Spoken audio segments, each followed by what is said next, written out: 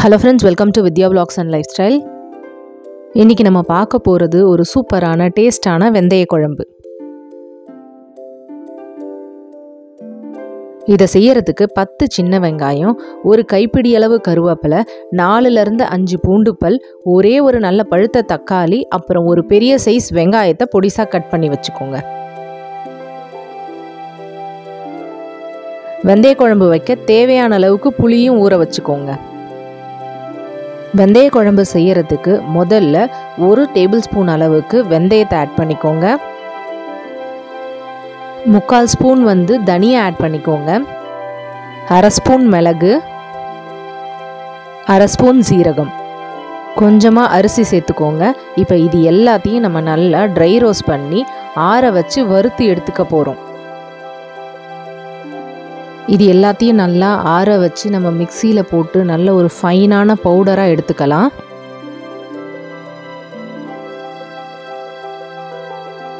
கடாயில் நான் நல்லெண்ணெய் விட்டுக்கிட்டேன். சும்மா ஒரு கை அளவுக்கு வெந்தயம் போட்டுக்கிட்டேன். கூடவே தாளிப்புக்கு வடகம் சேர்த்துக்கிட்டேன்.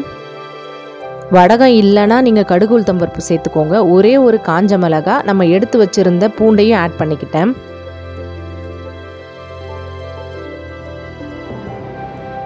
இப்போ கருவேப்பிலையும் சேர்த்துக்கலாம். இப்போ சின்ன வெங்காயத்தையும் சேர்த்துக்கோங்க. இதை வதக்கிக்கோங்க.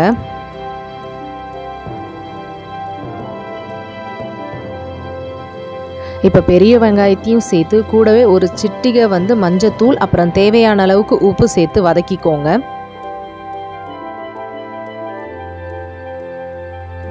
இப்போ பார்த்தீங்கன்னா எல்லாமே நல்லா வதங்கி எண்ணெயெல்லாம் பிரிஞ்சு வந்திருக்கு. இந்த ஸ்டேஜில் நம்ம தக்காளி பழத்தை சேர்த்துக்கலாம். இதையும் நம்ம வதக்கிக்கலாம்.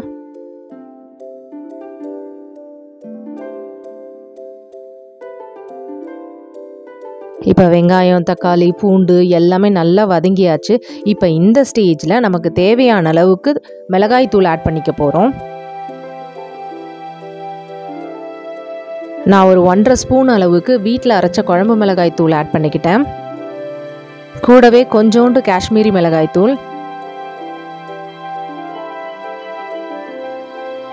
இது எல்லாத்தையும் ஒன்றா கலந்து விட்டு ஒரு ரெண்டுலேருந்து மூணு நிமிஷம் சிம்மில் வச்சுக்கோங்க.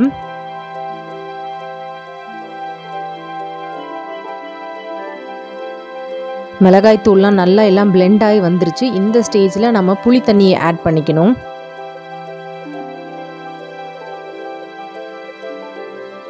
புளி தண்ணியோட தேவையான அளவுக்கு நீங்கள் சாதா தண்ணியும் ஆட் பண்ணி உங்களுக்கு குழம்பு எந்த கன்சிஸ்டன்சியில் தேவையோ அந்த அளவுக்கு நீங்கள் வந்து தண்ணி ஆட் பண்ணிக்கோங்க.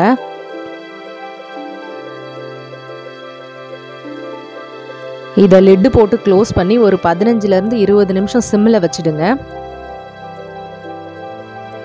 இப்போ ஒரு இருபது நிமிஷம் ஆயிடுச்சு. பார்த்தீங்கன்னா நல்லா வந்து குழம்பு நல்லா சுண்டி இந்த மாதிரி ஒரு ஸ்டேஜில் வந்திருக்கு.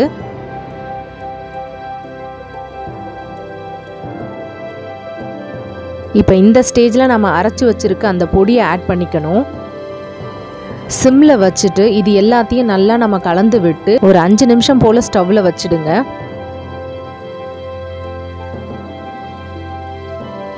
இப்போ பார்த்தீங்கன்னா கலரெல்லாம் நல்லா மாறி திக்கான ஒரு வெந்தய குழம்பை நம்மளால் பார்க்க முடியுது. எனக்கு உப்பு பத்தலை ஸோ இந்த ஸ்டேஜில் எனக்கு தேவையான அளவுக்கு இன்னும் கொஞ்சம் உப்பு ஆட் பண்ணிக்கிறேன்.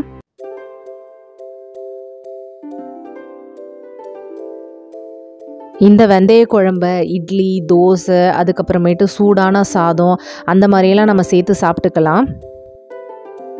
பார்த்தீங்கன்னா எண்ணெயெல்லாம் பிரிஞ்சு சைடில் அப்படியே சூப்பராக மணக்க மணக்க இருக்குது இறக்கிறதுக்கு முன்னாடி வெந்தய குழம்புல வந்து கசப்பு தெரியாமல் இருக்கணும்னா நீங்கள் ஒரு சிட்டிகை அளவுக்கு நீங்கள் வெள்ளம் ஆட் பண்ணிக்கோங்க. ஆனால் எனக்கு வந்து அந்த கசப்பு மைல்டான ஒரு கசப்பு ரொம்ப பிடிக்கும். அதனால் நான் எதுவுமே ஆட் பண்ணிக்கலை.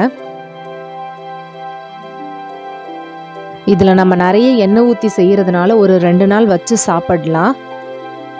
இது வந்து ரொம்ப ஹெல்தியும் கூட நம்மளோட ஒரு பிஸி மார்னிங்லலாம் வந்து பார்த்திங்கன்னா ரொம்பவே ஹெல்ப்ஃபுல்லாக இருக்கும்.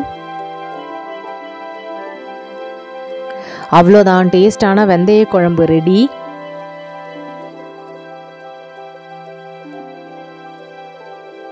இந்த வீடியோ உங்களுக்கு பிடிச்சிருந்ததுன்னா மறக்காமல் சப்போர்ட் பண்ணுங்கள் ஃப்ரெண்ட்ஸ் முடிஞ்சால் உங்கள் ஃப்ரெண்ட்ஸோடு வந்து வாட்ஸ்அப்லலாம் ஷேர் பண்ணிக்கோங்க. Thank you.